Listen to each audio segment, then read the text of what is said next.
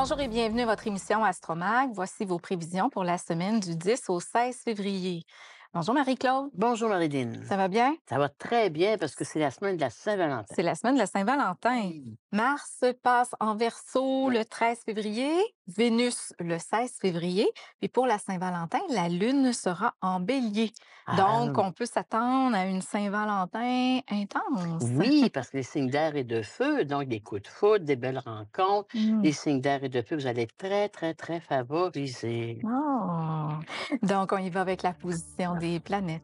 Oui, alors le soleil passe en verso, c'est sûr, on finit ces derniers décans du verso qui est très neptunien puisque le poisson est- est à venir. Alors le soleil passe entre le 20 et 26 degrés du verso, Mercure passe entre le 7 et 17 degrés du verso, Vénus passe en verso, justement, ça va faire du bien ça aussi, dans un signe d'air.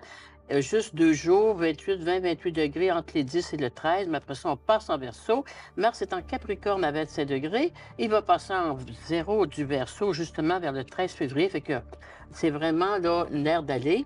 À 6 h 08 du matin, 13 février, on a un beau Mars dans un signe d'air. Waouh, ça va faire du bien. Jupiter, lui, est toujours en taureau, 8 degrés. Uranus est toujours en taureau à 19 degrés. Saturne en poisson à 7 degrés. Neptune à 16 degrés du 25 degrés 10 du poisson. Puis Pluton, ben, il est en verso à zéro, mais il est là quand même. Donc, euh, la Saint-Valentin, le 14 février, la Lune est en bélier. Mm. Et on a un bel amour planétaire en verso. Donc, c'est pas juste de l'amour passion, mais c'est de l'amour inconditionnel, c'est de l'amour de l'amitié amoureuse. C'est beau. Alors, Mm. donc, énergétiquement parlant, ça fait un égrégore de paix universelle. On se le souhaite. bien, ça. Alors maintenant, Marc-Claude, on passe au verso. Alors, cher Verseau, du troisième décan, bel anniversaire. Vous avez le soleil, l'énergie, Mercure, le côté mental, l'intellect, l'affectivité du Verseau et la transformation totale du Verseau. Mm. Alors, vous allez assister à des Verseaux cette année vraiment changer au maximum. Ah. Vous les ne reconnaîtrez plus, peu importe le Verseau du décan que vous connaissez. Il y a une belle aire d'aller, une belle envolée, puis c'est surtout vers le mois de mai, bien sûr, quand Jupiter va être en Gémeaux, qu'on va voir le résultat. Mais ça commence avec votre anniversaire. Mm. Alors, ils ont eu des soubresauts, ils ont eu beaucoup de choses, nos versos. C'est un signe quand même qui va toujours de l'avant, qui est visionnaire, donc il ne s'arrête pas au passé, puis le présent, il est là pour pas trop longtemps. Donc, mais il faut quand même penser que ça n'a pas toujours été facile non plus. Ils ont été Alors- écorchés, nos versos. Écorche, t'en connais, toi, hein? Ah oui, pas mal écorché, le, le terme est bien dit. Alors, cher Verseau, en Verseau, vous vous remettez de tout ça et les aspects de votre anniversaire, très beaux. D'ailleurs, on a fait une lunaison la semaine passée en Verseau, ça commence déjà, ça va d'une lunaison à l'autre. Donc, euh, c'est votre personnalité, c'est ce que vous êtes. Alors, il y a des Verseaux qui vont complètement changer, déménager d'endroit, de pays même. Tu sais, il n'y a rien d'impossible pour un Verseau. Dépaysement. Euh, total, total. Et l'amour au rendez-vous, euh, euh, ils font table rase sur un passé important, carré Jupiter-Uranus. Euh, c'est pas fait encore au moment où on se parle, mais vous allez en surprendre plusieurs, les versos sans verso cette année. hein. On ne prend jamais quelqu'un d'acquis et surtout pas un verso. Mm. Hein? Alors, les signes d'air, à part de la balance, sont pas très acquis. Alors, donc, bref, euh, tout ça pour dire que on peut changer d'orientation de travail, on peut innover, on peut rencontrer quelqu'un de l'étranger puis décider vraiment qui prend mari, prend pays. Mhm. Alors, c'est la même chose, mais il y a des beaux changements. Mais c'est positif. Alors, il n'y a rien de majeur de négatif. Puis, comme vous avez Jupiter qui va vous aider beaucoup à partir de mai, de mai 2024 à 25, ben là, regarde, vous allez t'installer ailleurs, puis la vie est belle. On dit toujours, quand on n'est pas reconnu à quelque part, il faut aller ailleurs. Ah oui. Quand la source est tarée, il faut changer. Mm. C'est ce qui va vous arriver. Énergétiquement, la santé va bien aussi. On a un petit carré, une petite bémol d'un carré Uranus. C'est sûr que le verso, c'est son système nerveux, c'est Mercure exalté des. Si on a des problèmes de santé, c'est souvent spasmodique qu'on dit. Donc, il faut prendre un peu plus un temps d'arrêt, se calmer, puis aller chercher autre chose. Si vous avez un ascendant d'eau, c'est plus facile, un ascendant de terre aussi, mais si vous avez un ascendant de feu et d'air de gémeaux, vous allez voir que ça va fonctionner, puis ça va aller très, très, très vite, mais rapide et heureux. Ah, alors, on, on part maintenant du poisson. Les poissons, période pour anniversaire. Alors, les poissons, si vous avez une période pour anniversaire comme celle-ci, ça va gauler, là, vraiment, c'est déjà entamé, là, vous autres, là. Alors, j'ai l'amas planétaire qu'on parlait tout à l'heure, j'ai quatre planètes en verso, alors dans votre belle maison 12. Alors, donc, ça apporte beaucoup de renouveau. Des renouveaux du changement, de l'imprévu, de la réorganisation, mais c'est pas vous autres qui a fait, c'est sûr. Vous la subissez ou vous allez l'apprécier, devrais-je dire. Alors, Saturne, et hey, ils ont Saturne depuis deux ans et demi, eux autres, chez eux. Alors, c'est long. Saturne, c'est lent, c'est plate. Neptune, c'est la même chose. bouge. là. Ben là, c'est le temps qu'ils sortent de leur Mm, bocal ouais. puis qu'ils réagissent. Parce que là, il faut de l'effer- de l'effervescence, le verso. Hein? Alors, qu'est-ce qui fait qu'ils ont tourné en rond nos poissons? Toujours les mêmes personnes, la même vie, les mêmes affaires, dodo, métro, boulot, la routine, quoi. Mm. Mais une routine qu'on s'enfonce dedans aussi. Même le Jupitérien, il a voulu sortir de ça, mais il se fait tout de suite caler par-dessus. Alors, l'amas planétaire en verso va vous donner cette chance de renouveau. Pour certains, c'est j'ai le goût de m'évader, de partir, de voyager. Pour d'autres, j'ai vraiment le goût d'aller ailleurs, voir qu'est-ce qui se passe dans d'autres horizons. Pour certains, je veux me libérer d'une relation, un carcan qui m'étouffe. Pour d'autres, euh, les responsabilités que j'assume toute seule, j'en ai ras-le-bol. J'ai besoin d'être aidé. Alors, gros changement. Verseau, poisson, c'est des signes qui vont nous surprendre beaucoup d'ici la fin de l'année. Ouais. Mais dans le bon sens du terme, parce que vous le savez, si vous en connaissez, surtout des poissons, ça fait longtemps qu'ils sont dans un, je dirais, un- une, à leur tour. ils sont immobiles, là, ça n'a Ah. pas de bon sens. Il faut qu'il y ait une régénérance à quelque part, une renaissance, devrais-je dire. Hum, c'est bien. Alors, on poursuit avec les béliers. Les béliers, eux, là, ça commence à bien aller. Bon signe pour les béliers, puisque la mort planétaire est en verso dans notre maison 11. Alors, la maison, c'est la maison des amis, des projets et tout ça. Alors, janvier, puis une partie de février, ça a peut-être été plus ou moins facile, mais là, on renaît de nos centres, c'est quoi de le dire, parce que vous avez encore votre petit Mars, là, puis plus...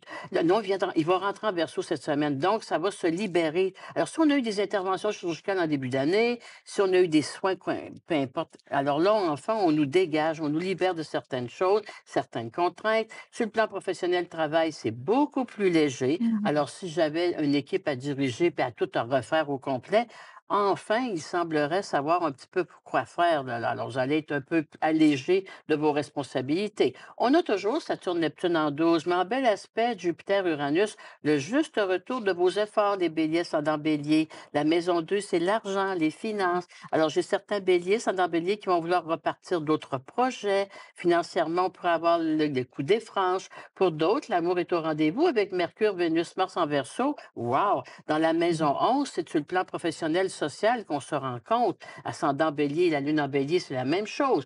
Donc, on sent vraiment que c'est une belle période. La lunaison qu'on a eu la semaine passée entamait tous ces événements-là majeurs, énergétiquement parlant, le côté mental est brillant. Donc, les béliers, euh, les planètes sont sur votre secteur diurne. Donc, c'est vraiment, vous allez briller ces temps-ci. On sort de l'ombre pour certains, mais c'est vraiment bien.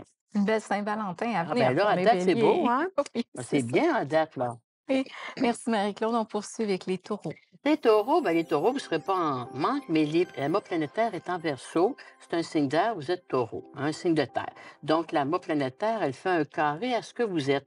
Comme on disait la semaine passée, ça va aller trop vite pour nos signes de taureau. Bélier, lui, c'est jamais assez vite. Go, go, go. Le taureau, il dit, garde, ça va vite, en- ça va bien, là, j'assume bien. Saturne, Neptune, j'ai des belles opportunités, je suis bien entouré, j'ai une sacrée belle équipe. Financièrement, j'ai des appuis, mais mon Dieu, c'est pour hier. Donc, euh, une petite période d'à peu près un mois, hein, parce qu'après ça, les planètes vont se tasser en poisson, vous allez vous ralentir. Alors, tu sais, on peut faire des gros efforts, mais quand on sait que c'est pas trop long, Ouais. on donne le coup. Puis le taureau, ben, c'est quelqu'un qui va donner des coups de collier. Hein? Il clenche, mais quand il s'assied, il bouge plus parce qu'il a trop clenché. Il peut faire un travail de 12 heures, mais après ça, même pas de faire, de changer de chaise, je suis plus capable. Alors donc, vous avez des 12 heures à faire, cher taureau, ascendant taureau, vous le savez, mais le mois de fin février-mars, allez être heureux. Allez Wow. dire, enfin, là, j'ai fait ce qu'il y avait à faire, je peux me reposer. Vous avez un bel aspect de Vénus avec Neptune, vous êtes aimé, apprécié. Vous allez voir comment est-ce que les retombées sont, sont importantes pour vous autres, les taureaux. Affectivement parlant, on est entouré, on est bien appuyé. Uranus en taureau, n'ayez pas peur de dire vos idées, de présenter vos projets, parce que dans le signe du Verseau, il faut innover. Il Donc, on est dans une énergie d'innovation. Ouais. Et non, et alors il faut emmener du nouveau dans la vie, c'est le temps ou jamais. Donc, si j'ai un, taureau ascendant d'air ou de feu, vous êtes vraiment dans le bon timing. Donc, c'est bien pour les taureaux. Absolument. Oh, il n'y a rien de négatif là-dedans, c'est juste que ça va trop vite. Ça va vite, oui. Mais la Et- vie, la vie va vite aussi. Ben, tout va vite. Tout- Mais l'ascendant d'air et de feu, le taureau, il est rapide. T'en es une, tu le sais. Mm. Mais l'ascendant de terre, il va trouver ça dur un peu. La terre, Ça puis euh, l'eau, là, Ouais. euh, ouf, il va, il va être un petit peu essoufflé. Ouais. Donc, Marie-Claude, on, on- on va quitter pour une courte pause. Oui. Puis au retour, ben, on parle avec du Gémeaux.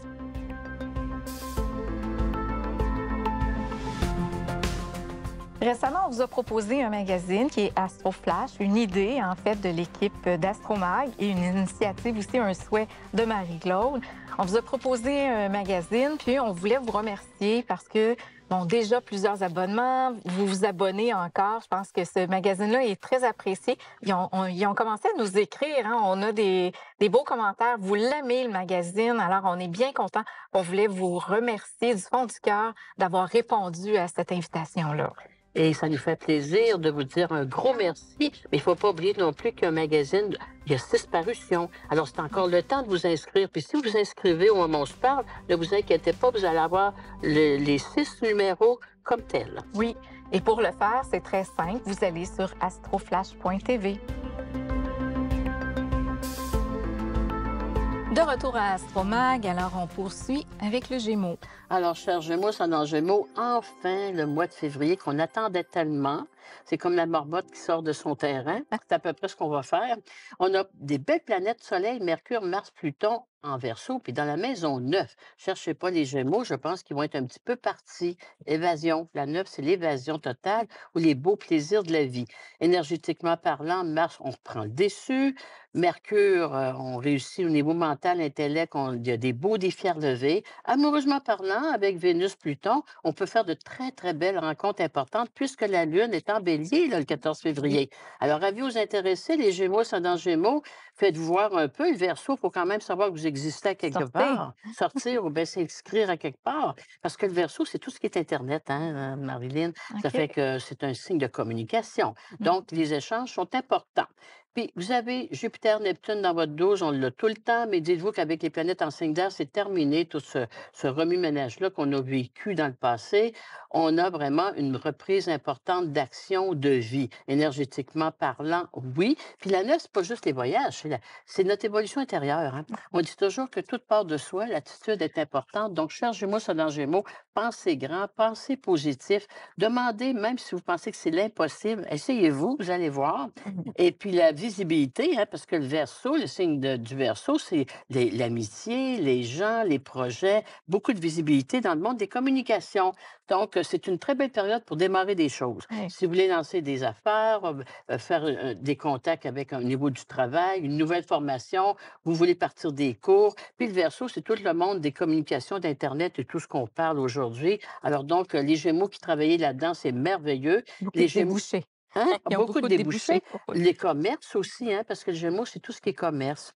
Euh, livraison, bureau de poste, euh, échange, communication, euh, enseignement, éducation. Donc, je pense aussi qu'au niveau des grèves qu'on vit présentement et Ouais. des conflits, pour moi, à ce moment-là, ça va vraiment être parfaitement Derrière nous. réglé. On n'en Ah. parlera plus. On va avoir réglé certaines choses. Merci Marie-Claude. On poursuit avec les cancers. Cancer. Le cancer, ben là, vous avez, vous autres, euh, c'est une autre histoire. Hein? Les cancers, vraiment planétaire du verso, et ça dans votre maison 8. L'argent qui m'est dû. Le patrimoine qu'on dit. Alors, pour certains cancers, le cancer, c'est peut-être un règlement de succession, de patrimoine. On n'est pas obligé d'être de décédé pour aider des choses notariées, mais on est là-dedans.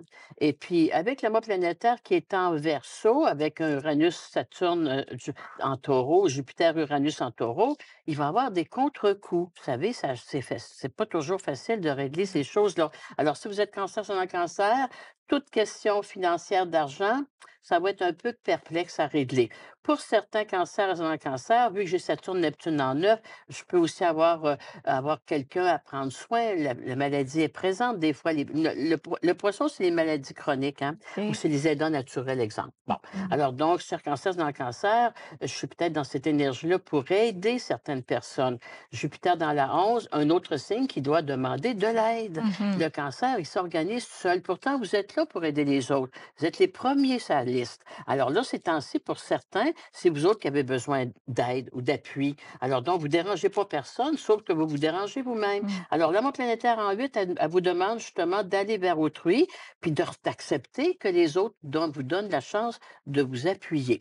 Puis financièrement, c'est bon d'habitude, Marilyn, avec Ah un, oui? planétaire en 8. Là, il y a des rentrées d'argent que Wow. vous attendiez pas. Est-ce que ça arrive d'assurance? Bien, il y a peut-être des impôts aussi à ce Oui, niveau-là. cette Les- période-là, on oui. est dedans un peu, hein, Mhm. déjà. Alors, peut-être que vous allez avoir des belles surprises, on vous le souhaite là-dedans. Par contre, si j'ai un carré Jupiter-Uranus en 10, sur le plan professionnel travail, ça joue les coups durs. Mm. Alors, si, j'ai un, si je suis directeur ou chef d'entreprise, avec les aspects que j'ai là, je dois remettre beaucoup de sous, là, et puis ça vient chercher un petit peu plus. euh, c'est pas toujours évident, ce côté financier-là, présentement, pour eux. Hmm. Alors, euh, on poursuit avec les lions. Alors, les lions qu'on avait parlé la semaine passée, là, ben là, écoute, la, la- la balance fait ça, là, parce qu'on a encore plus de planètes en verso. Alors, c'est la, c'est la fin de quelque chose. Vous avez Mercure, Vénus, Mars, Soleil, Pluton dans votre maison 7, l'autre. Alors, quand on fait une carte du ciel pour un lion ou une lionne ces temps-ci, si vous êtes en couple, on va aller voir votre conjoint, votre conjointe, parce que ça vient tout de là. Et si vous êtes en association, c'est la même chose. Par contre, si vous êtes seul, ben, quelque part, il y a peut-être moins de tension à aller chercher. Quand on est seul, c'est c'est plus tranquille des fois. Mais l'amour planétaire qui se fait dans votre belle maison 7, dépendamment de votre ascendant, ça peut être très positif, comme il y a pu avoir un éloignement. Parce qu'un carré Jupiter en 10, Uranus en 10, le travail, l'axe l'axe, dis-je, 10 et 7, ben c'est l'autre, le conjoint ou le travail. Alors, je ne peux pas être partout en même temps non plus. Hein? Mhm. Alors, il y a de l'éloignement, il y a du travail beaucoup, on me demande énormément. Je ne peux pas être partout à la fois, puis tout gérer en même temps. Donc, un lion, sans dans lion, vous avez intérêt à, je dirais, à vous en remettre à l'autre ou à déléguer. Je Délégué, cherchais le oui, mot. Et alors, il faut savoir déléguer, puis un lion, habituellement, ça délègue pas fort. Alors, donc, la vie va peut-être exiger que vous devez déléguer, sinon vous n'arriverez pas à terme. Sachez bien vous entourer. Hein? La force, c'est de bien s'entourer. Alors, c'est noté, Hein? c'est noté pour les lions. Oui. On passe maintenant aux vierges. Alors, la Vierge, signe de terre, euh, on est dans le mois planétaire en signe d'air. Petite semaine pour eux, sauf que le mois planétaire est dans leur maison 6 de travail imposé. Alors, la Vierge, c'est une bonne seconde, une bonne employée. Alors, on a besoin de vous autres dans des temps comme cela. La maison 6 aussi, c'est la maison des problèmes de santé, mais légers. Mhm. Donc, vu que vous avez tout ça en aspect à votre maison 9, les vierges, ascendant vierge qui aimeriez voyager, prudence, prudence. Parce qu'en astrologie, la mois planétaire qu'on a là, je t'avais déjà parlé, qu'il y a des problèmes beaucoup au niveau de, de l'aviation, des, de- des voyages et tout ça. Alors, ça ne sera pas Jojo, même il parle de faire une grève. Moi, j'ai l'impression qu'on va être dans une grève à ce moment-là. Alors, si tu achètes un billet, si tu attends à l'aéroport, puis décides que tu une grève, ça peut être long. Mhm. Alors, en astrologie, vous allez sourire, mais vous n'êtes pas très bien respecté les vierges partir en voyage. Euh, bon, alors donc, où il y a des retards. Partez pas trop loin. Ouais, ou bien amenez-vous un petit peu des sous parce que ça risque que ça soit un peu plus long que prévu. Hein? Alors, il y a ce côté-là. Puis de l'autre côté, maison 6, c'est le travail imposé. Alors, il y a beaucoup de restructuration à votre milieu de travail. On Tu sais, quand tu changes de programme d'ordinateur, quand tu changes de toutes sortes de choses, c'est stressant, pas à peu près. Et la Vierge, elle aime bien, elle a des grandes qualités. Elle veut tout apprendre, savoir ce que ça en va. Mais là, ça va trop vite. Alors, on peut avoir des tensions, beaucoup de nervosité sur le plan professionnel travail. Et pour d'autres, ben, comme vous avez Neptune, Saturne dans votre belle maison 7, la solitude est pesante pour certains et certaines. Alors donc, j'ai peut-être intérêt, un autre signe qui aurait intérêt à aller vers autrui. C'est un signe de terre, hein? Il est, elle est timide, la Vierge. Elle est timide, la. Vierge. Absolument. Donc, il faut presque aller la chercher.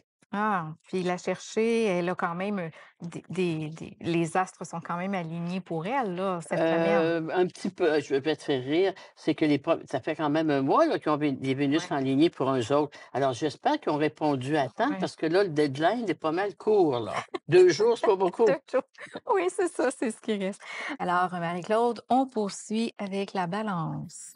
Alors, chère Balance, la mois planétaire reste dans votre belle maison 5, la maison des gains à loterie. Profitez-en. D'ailleurs, les signes d'air, on devrait être très chanceux ces temps-ci. C'est ça vérifié.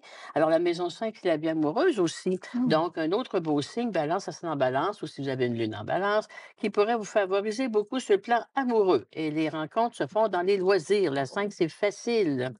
On en profite. On a toujours Ju- Jupiter, Uranus dans votre maison 8, la maison des sous, mais en bel aspect de Saturne, on est en train d'équilibrer nos sous parce qu'on avait vu un petit peu, là, je pense la semaine passée ou l'autre, là, qui avait des, des difficultés un petit peu financières à surveiller. Alors, Jupiter en 8, Uranus, euh, des solutions viennent par le biais de d'autres personnes. Hum, Pas hein? toujours la faute des autres. hein? C'est pas, Des des fois, c'est la, Des fois, c'est notre, avantage. c'est bien dit. Alors, Neptune aussi, qui est dans votre belle maison 6, la maison de la santé, de la protection divine. Neptune, Saturne, les solutions. Au niveau professionnel, travail, surtout les balances en balance qui travaillaient auprès des gens. Parce que le poisson, c'est tout le monde hospitalier, Mm. les aidants naturels, tous les gens qui travaillaient même au niveau psychologique hein, pour aider. Alors, c'est très, très bon, c'est très facile. Il y a des belles solutions à ce niveau-là. Et votre maître, qui est Vénus, bien sûr, en bel aspect, euh, dans votre belle maison 5, il y a vraiment des gros changements importants. Les relations avec les enfants sont favorisées, la vie amoureuse très importante. Parce que c'est avec Pluton, là, il transforme une vie. Alors, si vous avez Vénus-Pluton en aspect, Mercure-Mars, les rencontres que vous allez faire au cours de ces prochains mois-là, les signes d'air, on pourrait dire la même chose, ils sont très, très, très importantes pour du long terme. Oh, c'est de l'engagement. Eh oui, parce que Pluton, c'est comme je te dirais, le juste retour de la vie. Tu sais, les, les, les âmes qui se rencontrent, hein, les Ils rendez-vous du destin. enfin, là. Enfin, qu'on Oui. dit comment ça, où t'étais, hein? Oui, c'est ça. T'étais où? Alors donc, as- cachais où? oui, c'est justement, il était perdu. Alors, les rencontres sont importantes. Le signe d'air, le signe de feu aussi, c'est beau. Donc, cher balance, ça sonne en balance aussi euh, les loteries. C'est sûr qu'avec un Pluton, Vénus là-dedans, il, ça fait un wow à quelque part. Alors, on verra par rapport à votre carte du ciel, qu'est-ce qu'il y en est. Mais bref, la Jupiter, Uranus en vite, il y a des gros changements matériels, financiers pour plusieurs balances en balance qui s'en vient. Alors, si vous êtes dans la difficulté, les changements sont positifs. Si c'est le contraire, ben, soyez un petit peu au- Mm. aux aguets au niveau de vos dépenses pour les futures euh, semaines.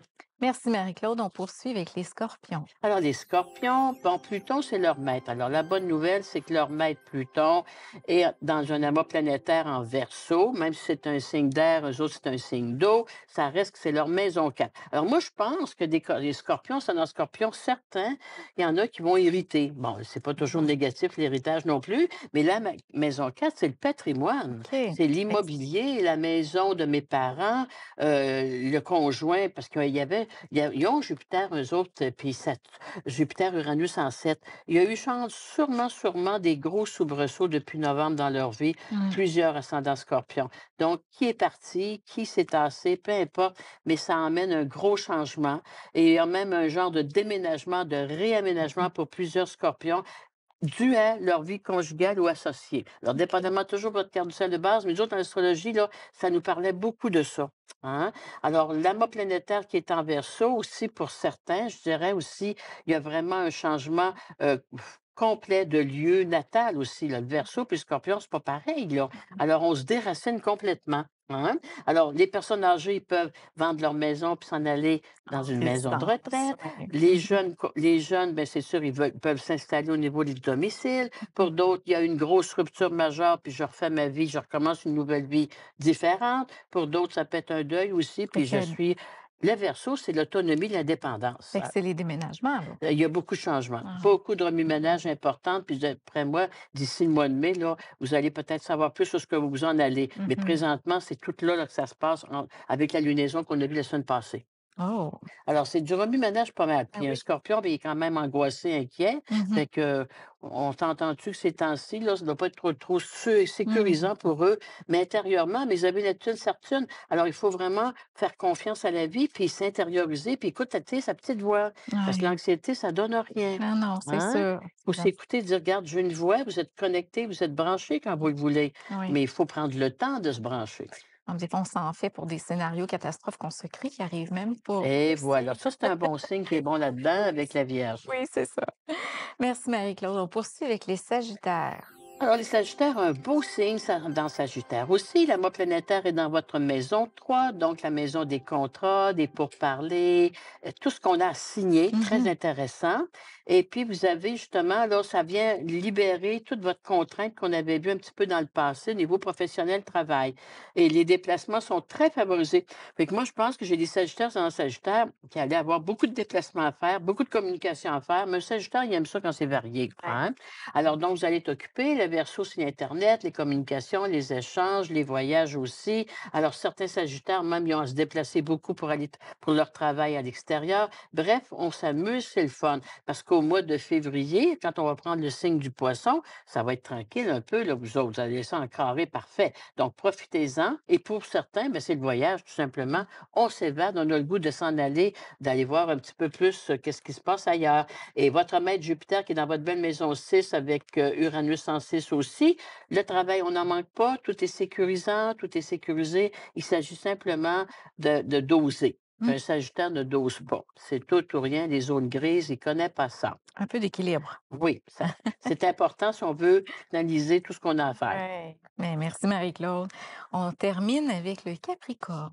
L'équilibre. Alors, ça, le Capricorne, as-tu as-tu vu le signe qui suit apporte ce qui manque à l'autre? Hum. Alors, le Capricorne, lui, il a un grand équilibre. Même, il- même on on appelle plus ça de l'équilibre. Moi, je dirais que c'est c'est stagnant un peu. Alors, le Capricorne, la mot planétaire, vous allez être content. Fait dans votre maison 2, l'argent, les finances. Mais la mot planétaire, elle fait un carré à Jupiter puis à Uranus. Donc, il y a un soubresaut sur le plan matériel financier.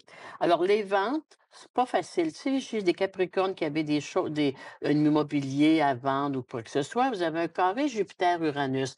Alors, ça dit qu'au niveau de l'économie, c'est comme on- ça bascule. Ah, Alors, tu sais, des fois, on dit un temps, c'est important de vendre parce que c'est bon. c'est le bon En temps. astrologie, on dirait qu'il y a eu une baisse, là. Il y a une grosse baisse. Alors, si vous êtes capable de vous abstenir de vendre tout de suite, il faudra attendre. Sinon, ben, des fois, on n'a pas le choix. Alors, alors, Saturne, qui est vraiment même votre maître avec Neptune, là, il fait quand même des aspects sévères. Et puis, il fait un sextile à tout ça. Mais le marché doit être assez comme ça, là, ces temps-ci. Donc, si je peux remettre à plus tard ma vente ou mes achats, attendons plutôt quand le temps sera plus facile. Mais dans la première partie de l'année qu'on vit présentement, il y a des hauts et des bas. Et puis, les restations, ça existe aussi. Ah. Alors, chaque Capricorne, c'est dans Capricorne, l'amas planétaire dans votre 2. Exemple, si vous avez à acheter, surtout acheter plutôt que vendre, bien, il faudrait peut-être penser un petit peu. Sais, des fois, on se dit, il faut que j'achète parce que ça n'arrivera plus après, ou Ouais. c'est un offre qui ne se représentera pas. Je ne suis pas sûre là-dedans, moi. Alors, comme vous avez Jupiter, Neptune, Uranus quand même dans la maison 5, alors on parle, nous autres, au niveau astrologique, que la vie amoureuse est intéressante. On a vu que nos Capricornes étaient bien entourés, bien, étaient bien, bien marquants. Alors, le- le- la bémol là-dedans, c'est que la 5, c'est mes enfants aussi. Alors, je suis des Capricornes, c'est un Capricorne qui, a- qui voulait signer pour un prêt quelconque pour vos enfants ou vos petits-enfants. Que? Pensez-y deux fois. La Ok. Saturne-Neptune, là, pas sûr, moi, que ça. En tout cas, si vous avez- n'avez pas besoin de vos sous pour un certain temps, bravo. Sinon, ça, je ne pense pas que le retour du prêt va revenir Ah. euh, facilement dans, un, dans six mois, un an. Alors, en Pensez astrologie. plus à un don qu'à un prêt. Et voilà, dites-vous, vous avez donné votre héritage de votre vivant. votre vivant, c'est ça. C'est bien dit. Sur ce, ça se termine bien notre, euh, notre chronique. Hein? Oui, merci Marie-Claude. On rappelle aux gens qu'on on a toujours le magazine, hein, qui est aussi euh, le, le spécial, en fait, le cadeau hein, du premier C'est la numéro. dernière semaine du cadeau, Le là, pr- je pense. oui, c'est ça. Jusqu'au 15 février, les gens peuvent euh, s'inscrire pour euh, s'abonner, pour recevoir le magazine et ils reçoivent le premier numéro euh, gratuit. Notre beau magazine très rempli de beau. beau contenu, de l'astrologie au Oui. mieux-être. Ça touche un grand... Beaucoup de lecteurs vont, vont beaucoup apprécier. Oui, parce que comme on disait, c'est pas juste l'astrologie, là. C'est un magazine pour apprendre à, apprendre à apprécier la vie. Moi, sur je la vie, Ce magazine-là va apporter beaucoup de lumière Oui. dans nos vies. Puis C'est ça qu'on voulait, hein? c'est ça qu'on voulait. C'est c'est ce ça qu'on voulait aussi. avec nos Et chroniques. puis, il est magnifique. Et Alors, merci euh, à nos chroniqueurs. Oui. Mm. Merci beaucoup, Marie-Claude. Alors, merci à vous aussi d'avoir été là. Puis on se retrouve la semaine prochaine pour d'autres prévisions astrologiques.